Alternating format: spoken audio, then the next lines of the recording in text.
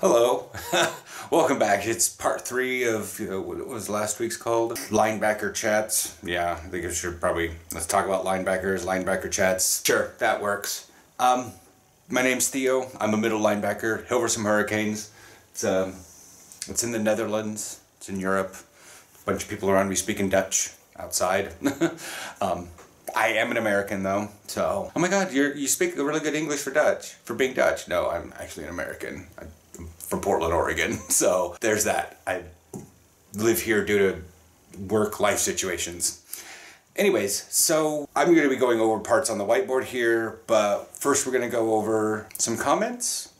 Today is a very weird day considering the current rules of the country now allow for anyone under the age of 27, so 27 and above can't do sports practices. 26 and under, yes. So Bad thing if you turn 27 yesterday. Good thing if you turn 27 tomorrow.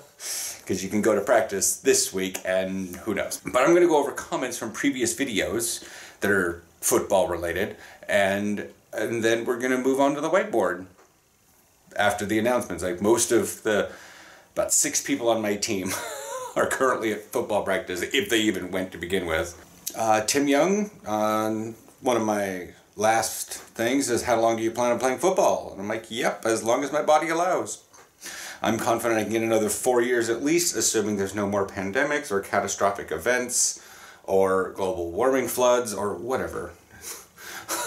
I'm pretty confident I could get that out at least. Big 50 says, keep doing these videos, we like them.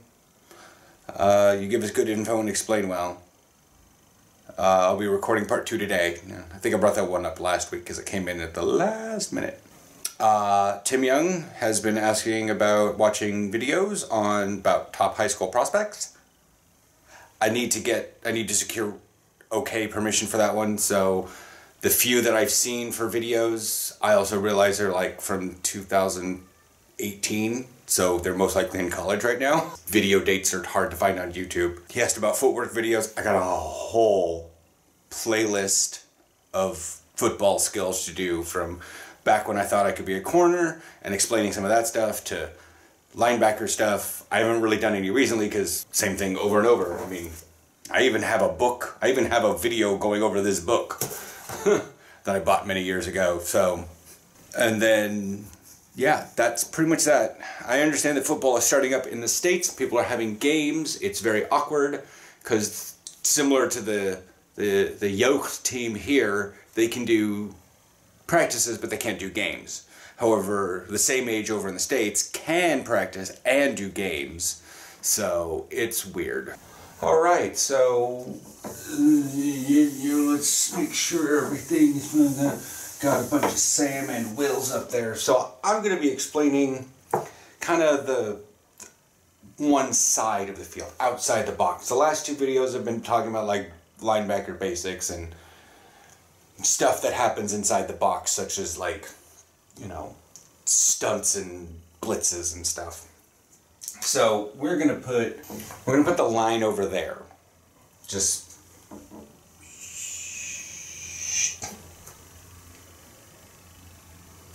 There's nothing straight in my life. There's the numbers. I guess. Ah, I'm really bad at drawing. I did not take art classes. So, you're probably going to have a Mike in there somewhere, and we'll go with the, the weak side right now. So, with that, you're going to probably have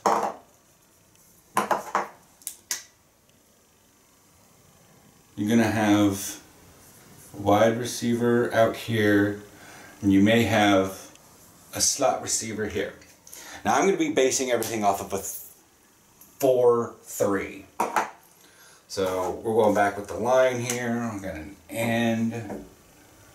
And we've got the nose and a tackle and an end. And that's way out there. Enter. Anyways, so you've got the Mike that lines up pretty head up and things change as stunting happens.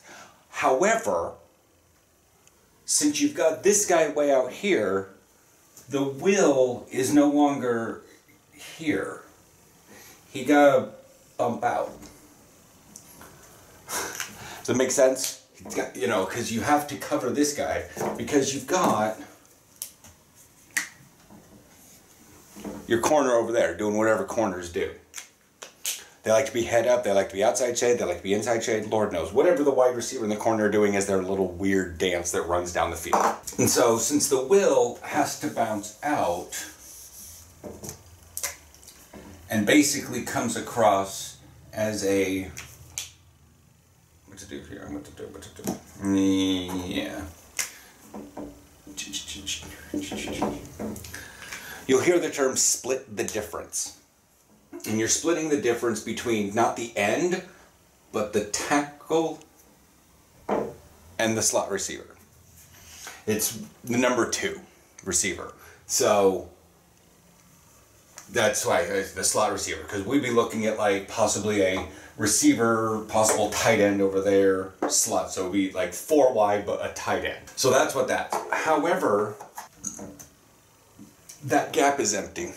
So the Mike shifts over and the Sam comes over. So the Sam will not, like, I'm still leaving them as is because this is what you would do. It's, you just take on the responsibilities. It doesn't actually change your position name. So the SAM will now have all those things. So this is why I've said in previous videos, know your playbook. Because you have to know as a Mike what the will does. Because if the will's got to bounce out and cover this cover this guy in an area you have to go here and realize that that's your gap and you're not trying to run over there or run into your old gap. That's the concept of like i said know your playbook. And so this is just the various little things. Because the will's job is technically this area this is not drawn to scale. So the will has to cover this area, but so like, and that would mean that he has to watch this wide receiver.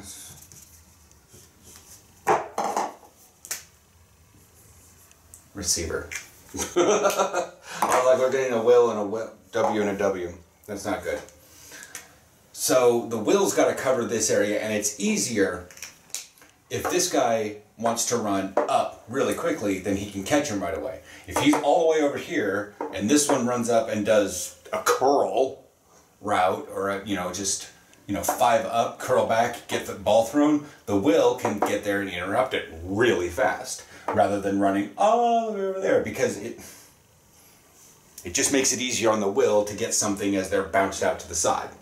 But it also helps in case anything runs out this way in case the slot goes. But that's the thing. Though it bumps the will out because rather than being on the inside of their zone, they're in the middle of their zone for like cover two. Uh, cover three puts things in weird location. I have a whole video on that one in my football 101. Uh, link it up there. I'll link the playlist up there. You guys can follow that one. This is why we bounce out. Now, the question that some people might have, what happens when the Sam bounces out? Well, that means you have a trip situation over there. If the will has to bounce out also to cover a slot, means you've got one, two, three, four, five. You have five receivers on the line versus, you know, a running back back there. Who's running through? the Mike is pretty much already on the quarterback as is. There's no running back to worry about. You don't the only thing you have to worry about is anything coming across the middle. You're all on pass game on that one. So if the Sam has to bounce out, or the Sam is hitting up, you know, if you got a if you got a wide three rather than a, a you know a the long runner, a midi. I don't know your guys' receiver names. Y'all come up with weird stuff. You got the you got the one, a two, and you got a three. And even if the three is not the tight end and lined up on the actual line, but is still bounced out a little bit more, the Sam can go out because you have corner, strong safety, Sam linebacker going man to man. And then out here you'd have corner man, will man, and eh, I'm just, you know, you're on the quarterback. So you don't really need to shift if the Sam bounces out. Uh, I know some people think that the Mike would have to shift over and cover the Sam's thing, but there's no open hole because you have a tackle there.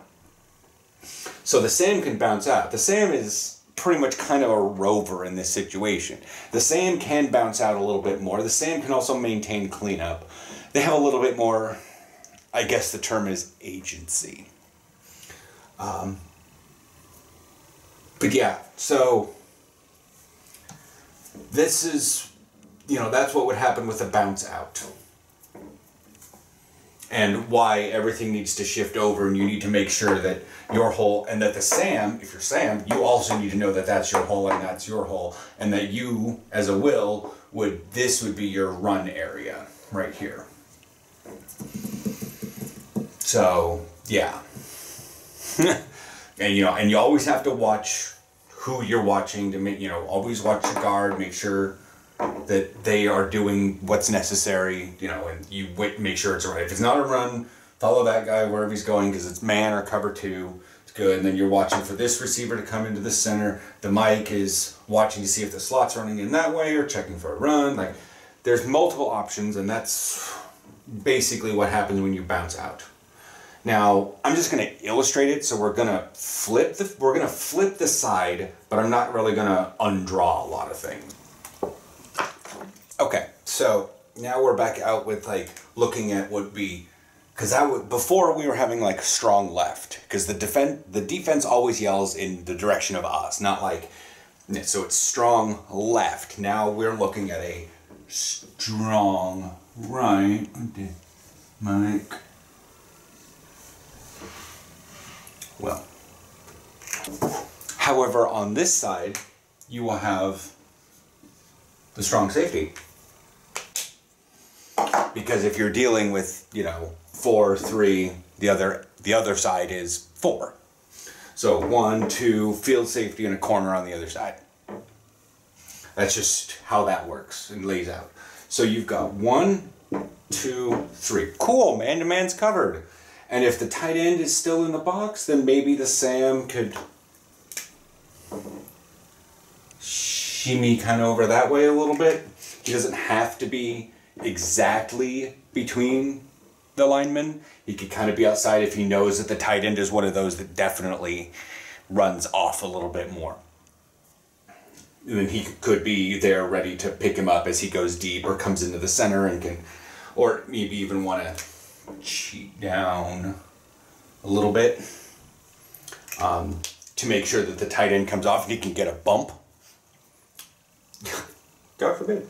It takes a special kind of Sam to want to like come down and be no head up on the tight end because you already have an end here anyways and you may have a quick um, like the end may come across and jab the end, which causes this guy to go after that one, and then you have a free.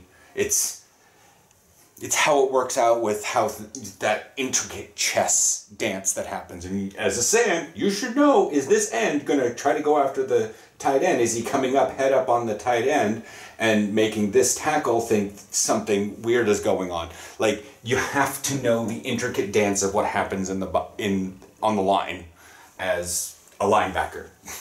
Will, eh, less so. it's about 40% of what's going on in your head. Sam, Mike, definitely. In this setup, at least. However, in the other situation that I was talking about earlier, let's say halfback. The running back runs out and lines up on the line. So now you probably have strong safety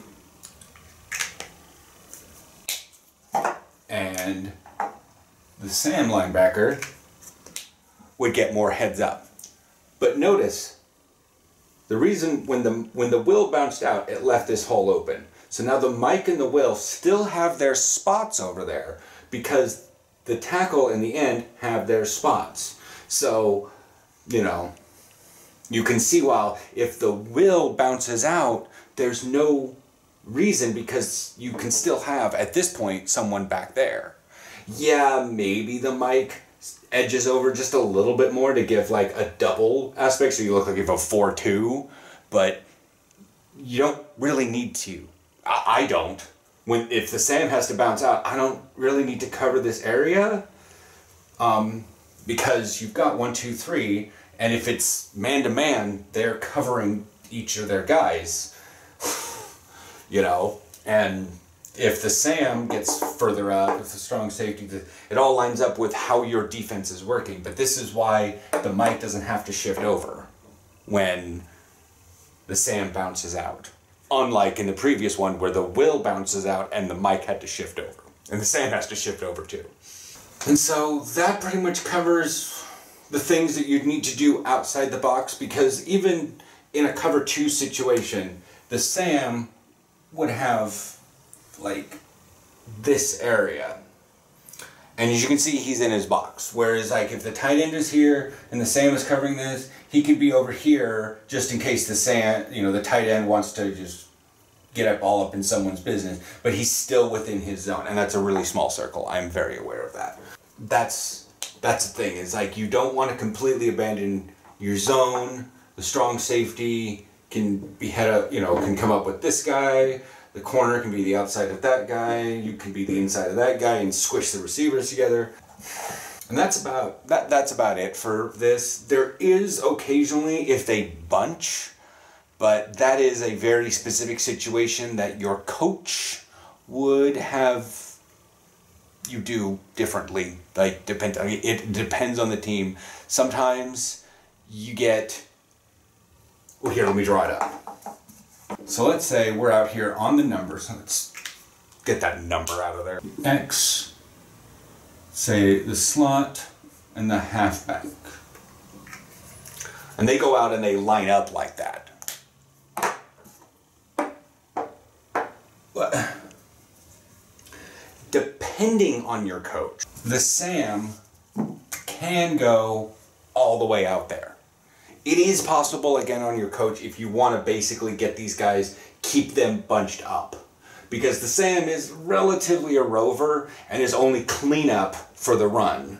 As I've seen, you're probably going to have the SAM a little bit further in there and you'd bring strong safety right there. And that this is a pincer attack and that anything that spills out like if anybody spills out of the inside the sam's right there to take care of it but can still also help with the run if necessary. You don't want to get your linebacker too far out of the box so they might as well just be defensive back. But yeah that's pretty much it for this video. Again i'm the goal of this is to help you guys get in a football mindset as well as me, because apparently practices are start, starting back up if you're not old as dirt. Any questions about this or the previous two videos, um, go ahead, ask in the comments. I will answer the question, and if it's pertinent to the whiteboard stuff, I'll draw it up on the whiteboard. And I'll let it go everything. If I need to absolutely research something, I got a book here, and I will research it. um, yeah. Catch you guys later.